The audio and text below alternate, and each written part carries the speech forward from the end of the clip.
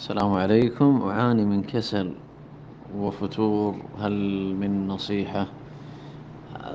من الطبيعي جدا أن يمر الإنسان بحالات من الكسل والفتور.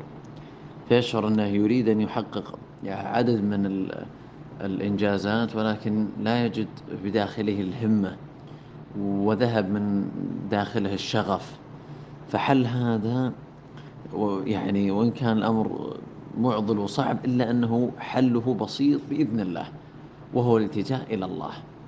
فأنت تظهر ضعفك لله فيقويك وتظهر حاجتك لله فيكفيك وتكرر من صميم قلبك لا حول ولا قوة إلا بالله.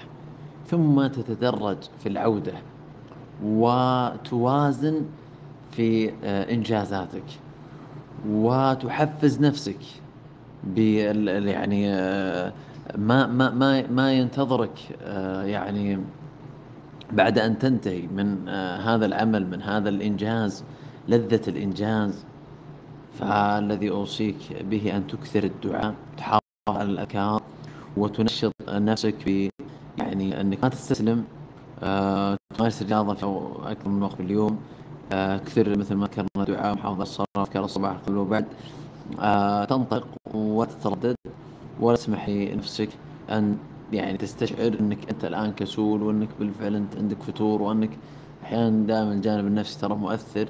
خلاص والله الحمد لله أنا تجاوزته وعالجته قادر أني أعود بقوة وراح أعود بإذن الله. ولا تسمح لنفسك أنها تمر عليك يعني الساعة والساعتين اليوم اليومين بدون أن تصل لإنجازك اللي يعني تصبو إليه فخلاص حدد وقتك للإنجاز وحافظ على هذا الوقت ولا تتنازل عنه.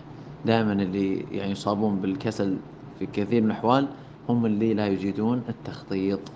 عسى الله يوفقنا وإياكم بحسن التخطيط ويسر لنا ولكم التوفيق. والسداد